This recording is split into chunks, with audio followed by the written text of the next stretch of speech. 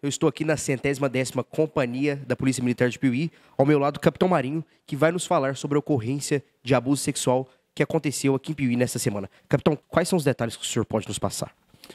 É, esse final de semana, domingo, né, por volta das 5 horas da manhã, uma jovem estava se encaminhando para o local dela de trabalho, no bairro Nova Piuí, quando ela foi pegar uma viela que dá acesso ali à MG 050. Né? Nesse atalho que ela foi pegar, ela já estava sendo seguida por um marginal que abordou com uma espátula de pedreiro nas suas costas, colocou um objeto nas suas costas, anunciando primeiramente que era um assalto. É, posteriormente, encaminhou ela para um local, um terreno baldio, onde tinha uma moita de bambu lá, e com ela ali a obrigou a praticar atos libidinosos. Em determinado momento, aí, ela pegou o celular dessa vítima, né, para cheirar cocaína. Quando ela conseguiu se desvencilhar dele, empurrar ele e fugir, indo para casa. Né? Foi recebida em casa lá com, pelo marido, né? ela estava lá sem a blusa, só com o sutiã. O marido assustou, saiu atrás desse infrator. Não localizando, acionou a polícia militar. Né? A polícia militar saiu no encalço desse indivíduo e, posteriormente, aí, uma, uma viatura do bombeiro é, acionou a polícia militar falando que tinha uma tentativa de suicídio. Uma pessoa tinha tentado se suicidar, né? tinha tentado cortar os pulsos e feito ingestão de medicamentos na tentativa de ceifar a própria vida. Polícia militar foi nesse local e verificou que as, que as características desse indivíduo eram mesmo do autor do estupro.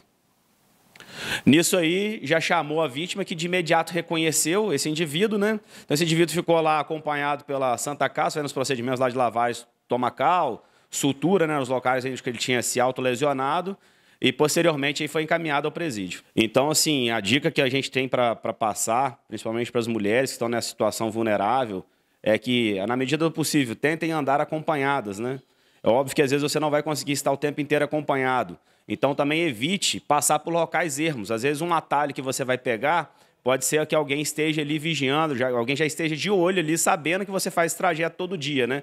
Evite também fazer o mesmo trajeto todo dia. Tenha sempre olhos né, atentos, verificando se alguém está te seguindo. Se alguém está te seguindo, corra.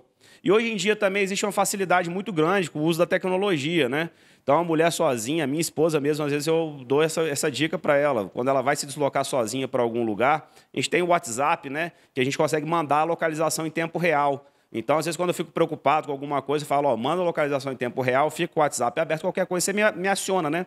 Existe também um botão de pânico no celular, que alguns celulares possuem, alguns aplicativos possuem, né? Que já é direcionado para um número é, de alguém conhecido, que também a pessoa pode fazer uso desse aplicativo também para essas situações. Então, infelizmente, né? Embora a Polícia Militar esteja fazendo a nossa parte aqui, pode ter certeza, igual o ano passado, todos os crimes violentos que tivemos aqui em Piuí, a Polícia Militar deu a resposta, né? Prendeu o autor de imediato, mas nem sempre a prisão aí é, vai fazer com que a, o índice criminal diminua. Até mesmo porque muitas desses que a gente prendeu já estão na rua novamente. Então, nós temos aí que realmente nos cuidar, né, ter medidas aí de autoproteção e em qualquer emergência policial, qualquer suspeita, acione a Polícia Militar. Tá certo, capitão. Muito obrigado pelas suas informações. Estamos à disposição.